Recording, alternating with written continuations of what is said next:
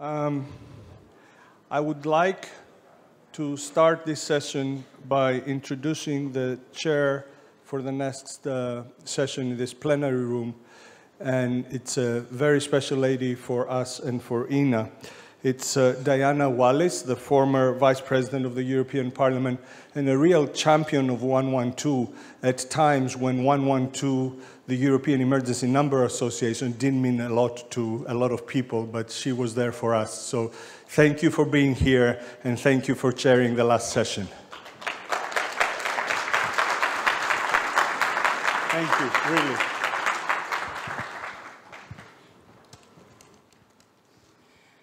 Thank you very much uh, for that introduction.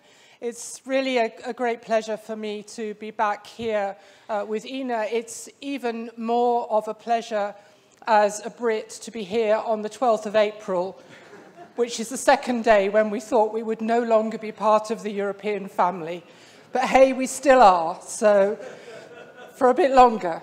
Uh, anyway, this morning my task is to chair a session with Benoit Vivier, who is the Public Affairs uh, Manager of EENA, who is going to give us a presentation, uh, firstly about how European law is made, and secondly telling us what's in the pipeline uh, that affects the membership of EENA and your work. And I think I just wanted to say in opening the session, to me it was always important as a parliamentarian to work with, and let's be clear, to work with lobby organizations that were transparent, enthusiastic, and technically competent. And EENA was all of those, all of those, enthusiastic, transparent, and technically competent. But above all, what is difficult as a legislator in the European area is that things are technical but you have to relate them to the citizens that you represent. And that to me was always doubly important with EENA, because the work that EENA does, the work that you do, is so important to our citizens and is something that you can translate as a benefit of what the European Union does. So thank you for that. And Benoit, wherever you are, we're desperate to hear about what comes next in terms of legislation. Welcome and thank you.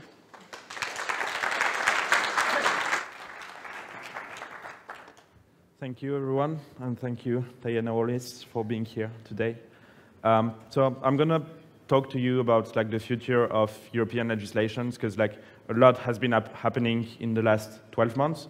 So I'll be telling you a bit what has happened and what will happen for you in the next years. So a few words about myself. Uh, most of you know me already, I guess. I'm EENA's Public Affairs Manager, which you can also call a lobbyist, uh, but like a nice lobbyist. And uh, I joined EENA almost four years ago. Uh, so it's my first, uh, fourth conference here. And uh, yeah, my job is mostly to follow EU legislations and to bridge with the European Union uh, institutions. Uh, as you can see, I have a background related to more politics and EU affairs, but it's my pleasure to speak with you about public safety also.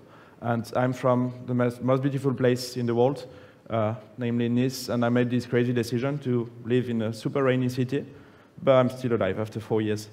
And I realized that like it's not really appealing, right, to have like 40 minutes of presentation about like EU legislation from like a Brussels-based bureaucrat and so on. So to grab your attention, I realized that the best is maybe to show you a picture of my dog. and maybe there will still some, be some, some more pictures of my dog throughout the slides, but for this, maybe there will not be. But for this, you need to follow the presentation that I will give. So first of all, I'd like to give you a small introduction about like kind of like what is EU, how it works, and so on, so that you can have a very good understanding of what I will say. I swear I will not bore you. It will be quick, interactive, and you will understand everything. So first of all, I'd like to mention some different kinds of legal acts that exist in the EU, because sometimes like we speak about like regulation, directive, and so on, and we don't really know what it means, right? So I'm just going to present some different kinds that exist. Yeah, it's kind of a mess in the EU. So we have, and mostly regulation and directive. Those are the two main um, EU norms, but there's like also a lot of ones. And I'll tell you a bit more about like the delegated and implementing acts, also which also exist. And so, first of all, the regulation. Uh, this is something that is binding on all the member states of the EU. So everybody has to apply what is say in the regulation. And actually, it is self-executive. This means that what is said in the regulation directly applies in all the member states. There is nothing to do on the side of the public authorities to like implement this legislative in the whole country, which makes it different from the directive, because a directive requires what we call the transposition in the law of the member states. So a directive, what it says is just some, let's say, some kind of objectives. It's voluntarily vague. Let's say the vocabulary and the language use is kind of vague, so that the member states have some flexibility and some room of maneuver in the implementation of the EU law. And usually there's a deadline of about two years, uh, usually. The last one, the delegated and implementing acts, this is like, I could do like a whole conference to detail how complex it can be. It's called comitology. But just so you know, it's something that's kind of like completes a previous legislation and uh, with some more specific uh, measures to really implement it correctly. So now that this is understood, I guess it's understood for everyone? Yeah, looks like, great. Um, so now that this is understood, uh, something else is where does EU legislation apply?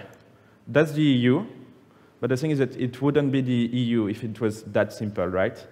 So EU legislation actually applies in the 28 member states of the EU, and well, the UK is still part of the family for some months. And well, at that pace, actually, I'm not sure they will, like, maybe they will have to apply the EECC as well, actually. Um, but the EU legislation applies to uh, the country of the European Economic Area, which are Iceland, Norway, and Liechtenstein. Uh, though they are not members of the EU, they have to apply EU law on single market, so only some parts, uh, which makes it complex. But that's not it, actually. It's even more complicated than that, because you will tell me, what about the like outermost territories, like the overseas territories of some countries of the EU? And it's a question I get in my mailbox, something like every week. So once and for all, Um, EU legislation also applies in those nine territories, which are called the outermost regions of the EU.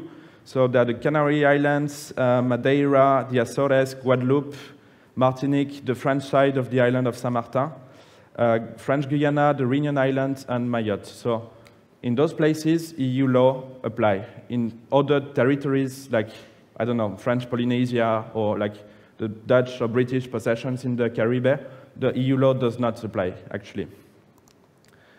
So, um, last introduction about how the EU works is who decides in the EU, because we hear a lot about like the Commission and the Parliament and so on, but we don't really know what they do exactly and what is their role.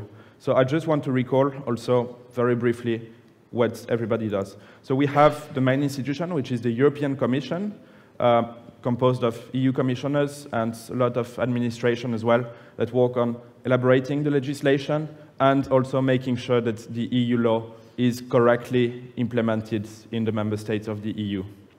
Then we have two other main institutions, let's say. It's the European Parliament, which represents directly the citizens. So the members of parliament are directly elected by all the European citizens. We'll have some elections next month. Um, I guess you've heard about it. And we have the Council of the European Union, which represents all the governments of the EU. And for EU legislation to be um, voted, basically, how it goes is that usually the European Commission proposes a directive or a regulation, and then both the European Parliament and the Council have to vote the same text in the same words. So they can amend this regulation or this directive, but they have to vote it with the same wording, which leads to sometimes super long negotiations between the two um, institutions. Are we good so far? I don't see any questions. That's great. So now, now let's talk about the EU legislation and what is now emergency calls. So most of you know already about the Universal Service Directive, which is the main reference for the moment about uh, calling 112 in the EU. But there are like other legislations. We had the e-privacy directive that is still uh, applied. We We had, now we have the General Data Protection Regulation. Uh, most of you attended the, the workshop and the, the, presentation that was given uh, two days ago at this conference. If you haven't, you can still find the slides of the session uh, after this conference. So I really recommend everybody to have a look at what's the impact of GDPR for emergency communications. But that's not it. This is where we are today. So we have those legislation. Of course, there are lots more legislation, but those three main ones. And tomorrow, and what I'm going to talk about, we'll have the European Electronic Communications Code, which, is, which will replace the Universal Service Directive. We have the e-privacy regulation, which will replace the e-privacy directive. Now you know the difference between a regulation and directive. And we, have, we will have like a lot of more legislations. The European Accessibility Act and, that's super long to read, a delegated regulation supplementing like another directive. I'll go through that later. Of course, there's a lot more legislation, but I try to make it quite simple. But yeah. So let's talk about the European Electronic Communications Code, which is the main text about emergency communications in the future in the EU. So as I said, it's the new legislation, not only on 112, but on all telecommunications. So when we talk about 5G, about fiber and so on, and spectrum and a lot of things, it's in the European Electronic Communications Code.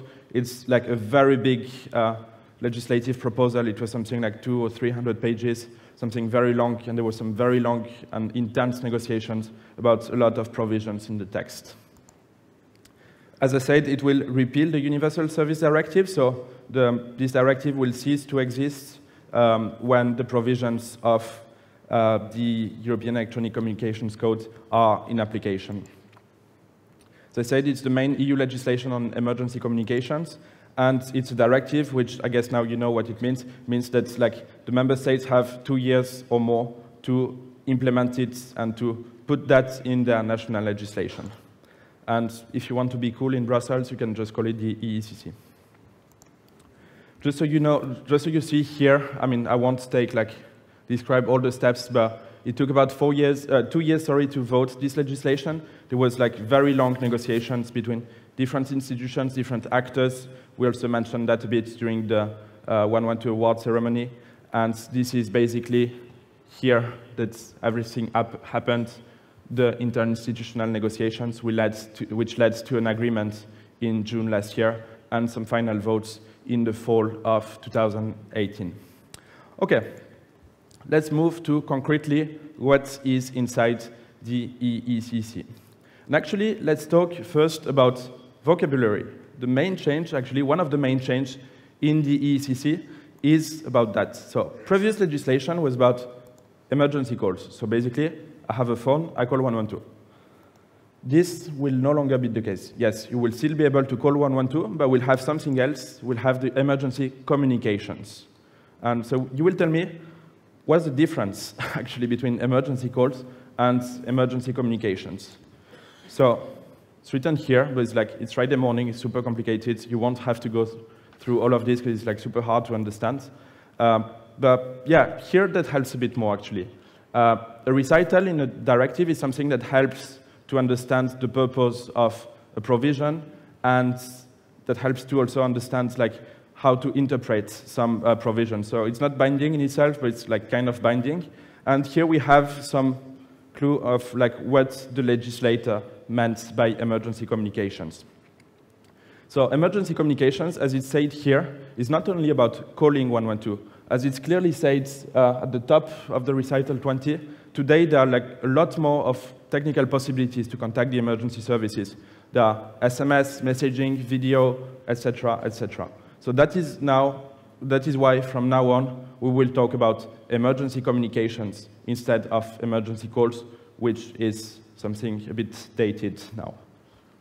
So you will tell me, okay, now we understand that, but like, what does it mean concretely?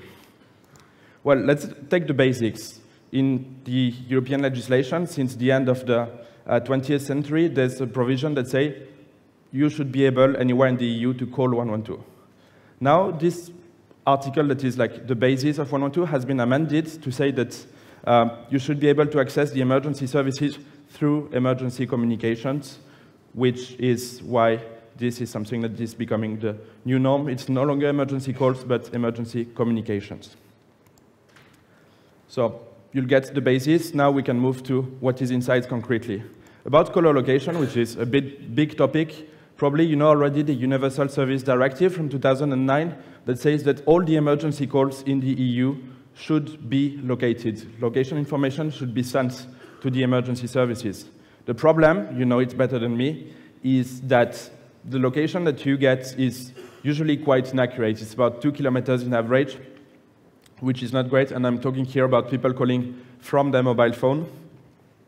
While there is today some possibilities to get other kind of information that is much more accurate.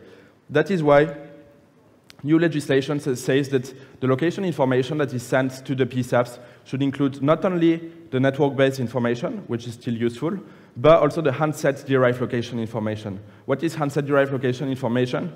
Is basically what you have here on your smartphone, namely the GNSS, uh, GPS Galileo, and Wi-Fi information. So this is a bit hard to read. It's like EU law language, so I made it more simple. What's new?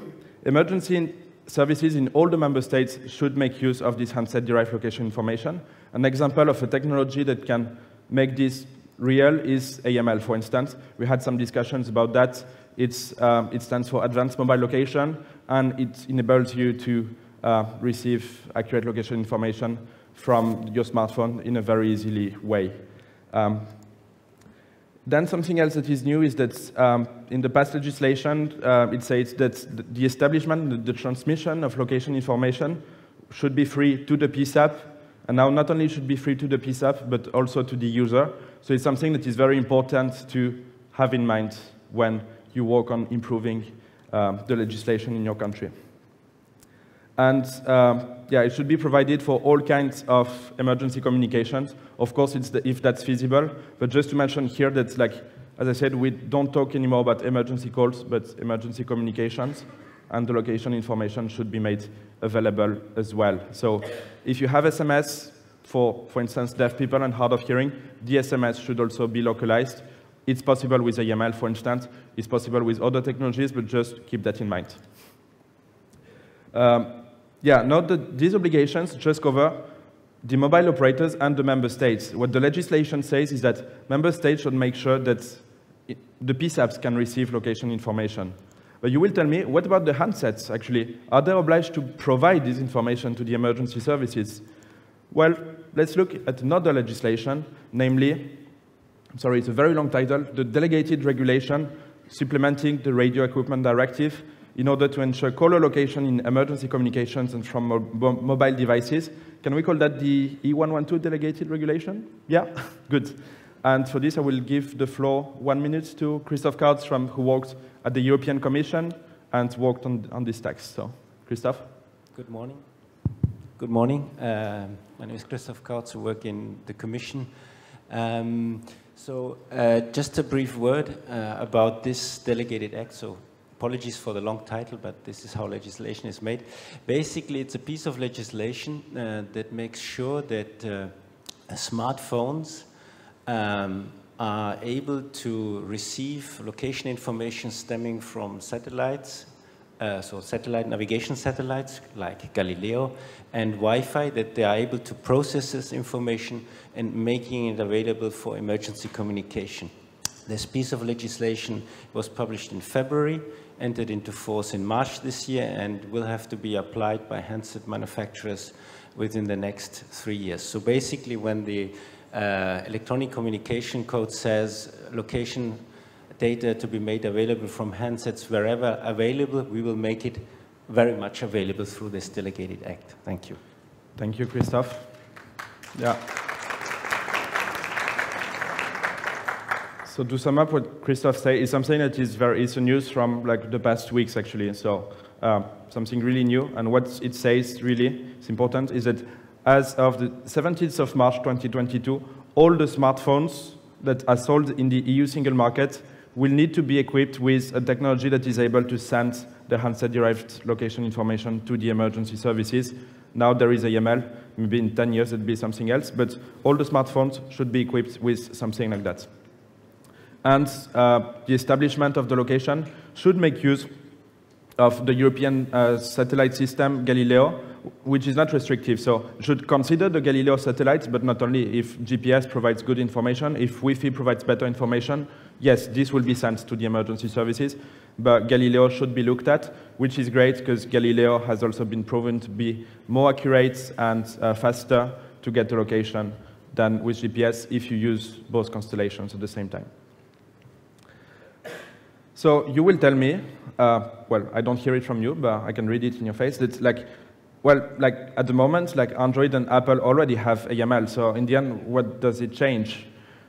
Well, what I will tell you is that what it changes is certainty. You are sure that at no moment of the, like at any moment in the future, the, all the smartphones will have something like AML. And if there's a newcomer in the market in the next, next five years, which might happen, this newcomer will have to comply to this delegated regulation. So that is something that is very important and uh, well done to, to, the European Commission for making that happen. Are we good with caller location? Yeah, okay. Now we can move to another item that is in the EECC. It's public warning. Probably heard a lot about that already, and just want to recall, um, if that's not clear yet, and that you see the article, um, there was basically nothing before in the European legislation. Now there is something that uh, there should be something called reverse 112 in all the member states of the EU and the territories that I showed late, uh, earlier. What does it mean, reverse 112, is that um, you should use the, like the telecommunications um, antennas and networks should be used to transmit public warning alerts, so that can be done through different uh, technologies. So as I said, public warning system should be placed in all the member states. As you read the text, you probably have some concerns when you see that um, member states should ensure that when public warning systems regarding uh, imminent disasters are in place. Why do we have this wording that is a bit strange? Is because the European Commission also doesn't have the competence to say that member states should have a public warning system. But like in, actually all the member states have a public warning system. With Siren, it's a public warning system. So in the end, it doesn't change much, but it's just to uh, ensure that the legal basis for which to act uh, was respected, which was the case. And this legislation, once again, it's only about telecommunication network, and what actually EENA is advocating and what you will all agree is that we should have a multi-channel approach. So the telecommunications networks is one thing, you should not ignore the rest. The goal in the end is to, to reach the whole population. So yeah, uh, this I just said. And um, the alert not only should, well, uh, warn the people in an area, but it should also take into account that, that there are sometimes some visitors in an area coming from different countries, and the visitors should also be alerted. And yeah, you probably know that two main technologies that provide this, the cell broadcast and the location-based SMS. I'll be very quick. Uh, yeah, then it's up to the member states, of course, to define uh, which technology they want to use. This is up to you. I'll be very quick because there's like uh, another paragraph in the law that says that there's a possible alternative, which are mostly apps. Apps are great, but they don't reach the whole population, actually but they can be a good added value. But like there are very strong requirements for it to be an alternative.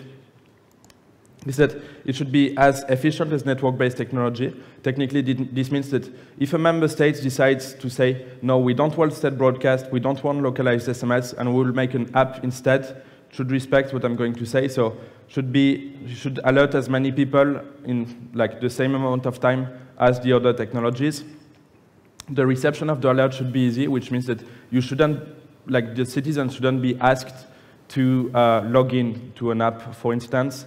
Um, of course, the visitors entering the country should be uh, informed of like how they can receive this alert, and um, transmission is supposed to be free to the user and compliant with privacy rules. Once again, I'll insist on that. What you see here is just if you consider an alternative as like cell broadcast or location-based SMS, which is actually very hard to reach. Actually, I don't really see any alternative available at the moment. But once again, it means that like you shouldn't like left the rest like away. You should have like a multi-channel approach. Is everything okay so far? Yeah? This is what I see from. I'm going to talk now about the accessibility to people with disabilities. You probably know that in the current legislation, it is said that um, people with disabilities should have uh, an access to the emergency services that is equivalent to that enjoyed by the other end users, which is actually not very clear, actually, what do we mean by equivalent access? So this led to like very different uh, implementations in the member states. What is said in the new legislation, new legislation actually adds what we described before, the emergency communications. For, as a reminder, emergency communications is this. So people with disabilities should be able to contact the emergency services by those means. For instance, SMS, messaging, videos, or the type of communications. I don't see fax in the list, so probably it's not considered anymore as like an equivalent access. So uh, yeah, basically, you, if you work in public authority of a member state of the EU, you will have to provide this, at least, well, to actually to everyone. So not only the people with disabilities, but to everyone. There should be different ways to contact the emergency services. And this is completed by another legislation called the European Accessibility Act, uh, which is a new law that is being ad adopted. Actually, it just, was just voted by the European Parliament a few weeks ago, and the Council will, will vote it like in the next days, actually. And in the next three years, actually, I mean, it says kind of the same as in the EECC, so uh, I won't bore you with that, but uh, just so you, you will see when you receive the, the slides, the, the whole text. And basically, providers should provide real-time text, total conversation services, and so on. Uh, this is more about actually the, um, the products and services, while the EECC was about the, the PSAPs and the emergency, uh, well, the communications network, actually. So that's why those two texts like complete each other. And uh, people traveling to other member states also should have access to the emergency services as well. And um, this, of course, is very important. This should not uh, change completely the organization of the countries. Once again, this is not a competence of the European Commission to tell a country how it should be organized for the handling of emergency communications. Um, yeah, and that shouldn't prevent you from doing more, actually, that what is in the law.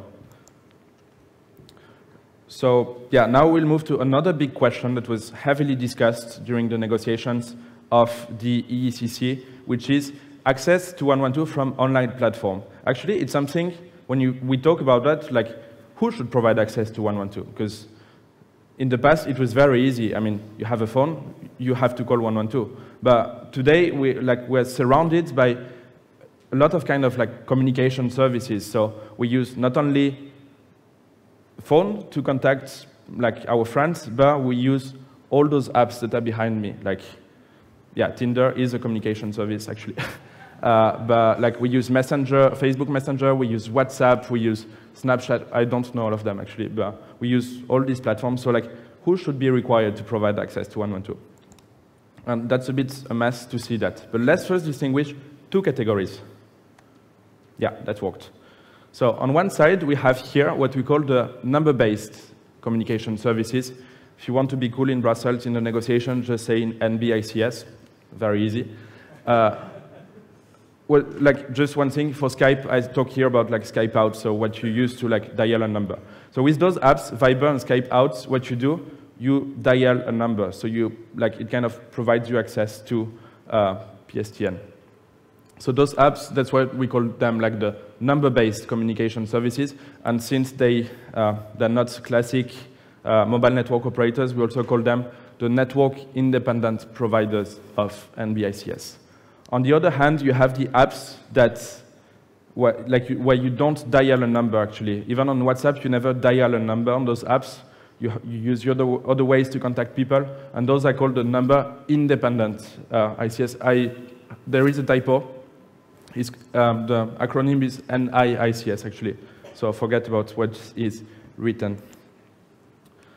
I won't bore you with all this text, though it's super interesting, but like I made it easy for you because it's Friday morning. And uh, basically what this says is that So in principle, all the providers of number-based interpersonal communication services, such as Skype or Viber, should provide reliable and accurate access to the emergency services. However, you know it better than me, it cannot always be the case. I mean, when you use this, there could be problems of transmission of location information, of the routing to the most appropriate PSAP, of possibility to call back and so on. So there's a lot of problems at the very moment now. But this might require uh, some standards to be implemented, and once this will be done, then those apps will have to provide access to 112 when all the problems will be solved. For the moment, there's no real like, possibility to do that, and that's why such providers are not really required to provide access to uh, emergency services when like, no such standard is implemented. And uh, you probably saw now when you log in on Skype, for instance, that it says that like this does not enable you to contact 112. So yeah, like the such apps, if they can't provide access to 112, they should inform their users, which is very important. Let's talk about the rest. The number independent interpersonal communication services. It's written here, and it's actually pretty simple, is that for the moment, the access from like WhatsApp, Messenger, and so on is not mandated, so they're not, they don't have to provide access to 112. But maybe, who knows, in the future, maybe in five, ten years, like nobody will like nobody will use SMS, so nobody will use the standard like the normal uh, phone um, capability that you have in your smartphone. So uh, at that time, maybe like we will have like we will describe like a threat to the access to the emergency services. And that's why the legislator, in a very good way, I think, made it possible to like assess regularly whether like access to emergency services is threatened by the use of such apps. And this is something that is uh, given to BEREC, which is the Bureau of European Regulators uh, in Electronic Communications. So it's kind of like the association of all the telecoms regulators in Europe. Are you okay so far? Sorry, it's a bit long, uh, but I'm, al I'm almost done. But I see that you get it. I see no face uh, with questions, so that's good. I'll very briefly describe now uh, other uh, provisions that were in the EECC. First of all, about the transnational emergency calls. It is something that's like you are probably faced with uh, on a daily basis, probably somebody that calls to report an emergency happening in another country and if you work in a PSAP, you know that it's very hard sometimes to forward it to another country. So uh, you probably remember that many years ago, EENA uh, developed a database uh, to like that would be kind of a directory actually of the emergency services number of each country in Europe. And now basically, this is in the legislation that uh, BEREC should maintain such a database. The advantages of that compared to the one at EENA is that this is official and also probably more uh, secured, like cyber secured, and uh, very le less hard to uh, attack, and it's just better if it's official. So uh, this has been given to BEREC if such a database is not maintained by another member state, and actually, uh, sorry, by another organization, and it is actually maintained now by another organization. You probably followed that now uh, ECO, the European Communications Office, which is part of the CEPT, is currently hosting what it's called now the PSAP directory. It's like it's this kind of database actually. So if you have some questions about that, please contact us. We can put you in contact with uh, the CPT to join this uh, database, this directory now. Something also that was discussed during the negotiations, and uh, some of you I know are very sensitive to this topic is the direct access to 112. Actually, this is what is in the internal document of the European Parliament is if you have a problem, dial 85112, because 112 will not work. So most of you agree on the fact that like this shouldn't exist and like you should be able to contact 112 even from the private networks. Like I'm not sure like how many of you have checked in your hotel room how you can contact the emergency services?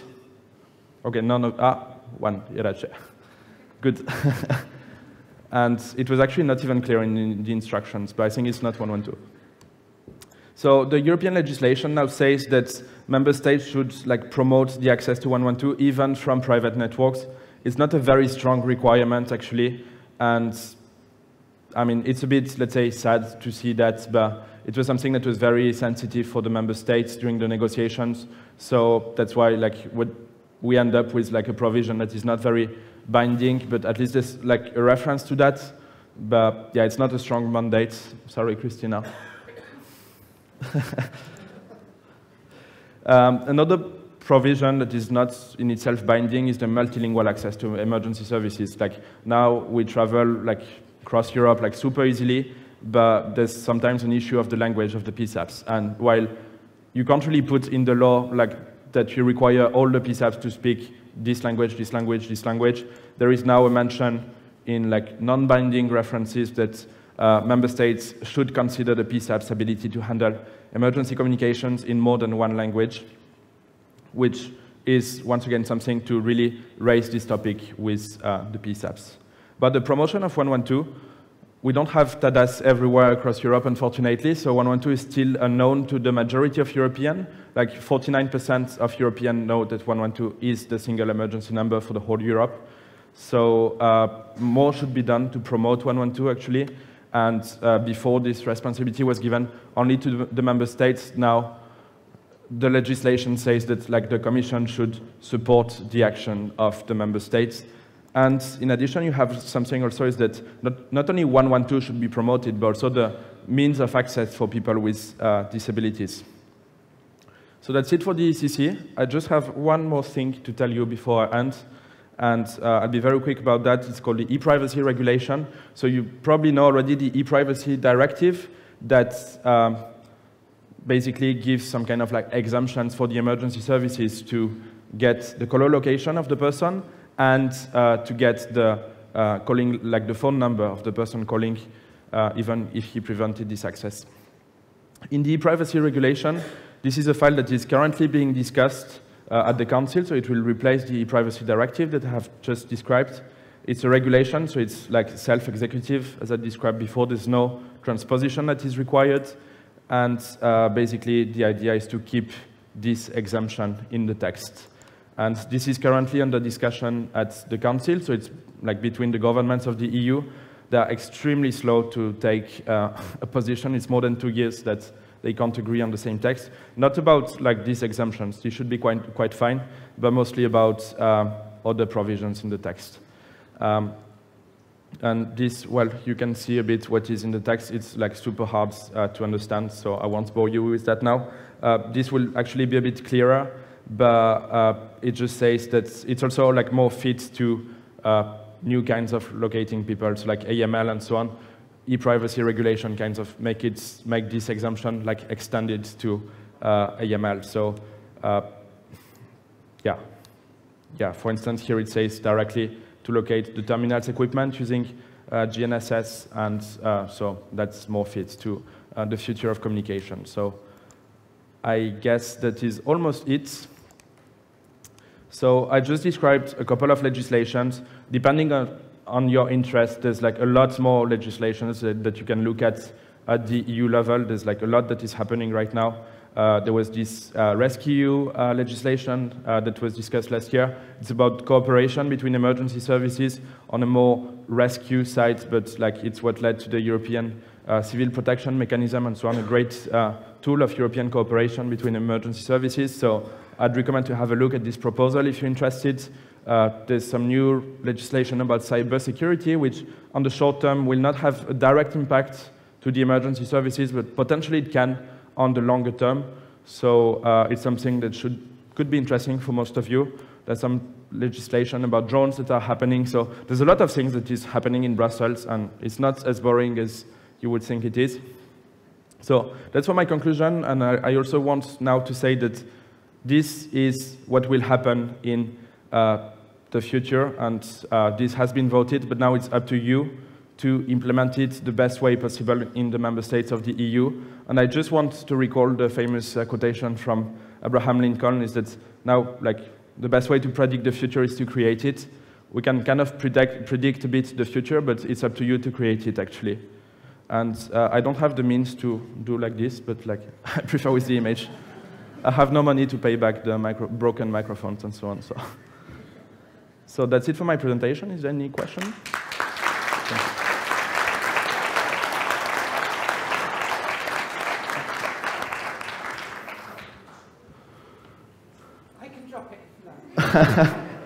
Benoit, thank you so much indeed for taking us on that tour uh, about how European legislation is made, um, what has happened in terms of uh, EENA's work and what might be there for the future for the next uh, European Union legislature.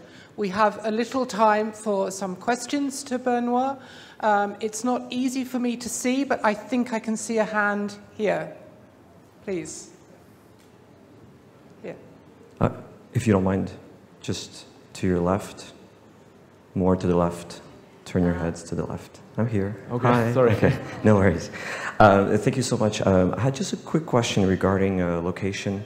Uh, so carriers or MNOs are usually carry voice or SMS in the case of emergency calls, even if the handset doesn't have a mobile plan or if it doesn't have a SIM card, but they will not carry data.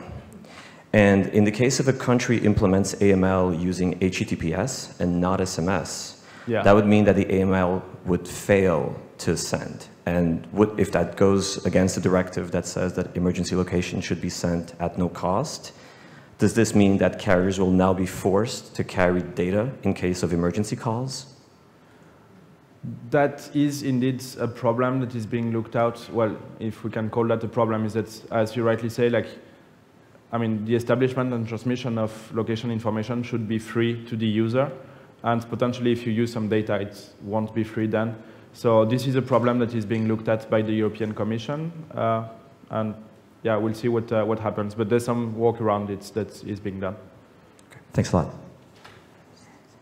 Um, Is it on? Yes. Uh, Benoit, thanks for the presentation. I, I had the question regarding Galileo. Uh, Is it exclusively for the EU member states, or it could be used outside of EU, that service? It, of course, it could be used outside of the, of the EU, um, especially for the countries that have, let's say, uh, intentions to join the EU in the future or to get closer to the EU or like to get closer to the EU single market at least, uh, then it's something really you should like look at. And uh, well, I know that a lot of countries like around uh, the European Union, but that are still part of Europe, are just like looking at what's happening uh, in Brussels. So uh, yeah, definitely it could be used also. Please, yes. Um, to do with um, uh, alerts, it was alleged by one of the providers yesterday that only cell broadcast met the requirements of the European legislation. Yeah? Can you clarify whether that is actually the case?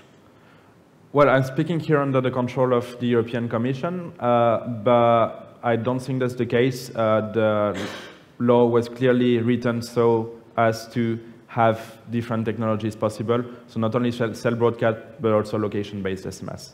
Thank you.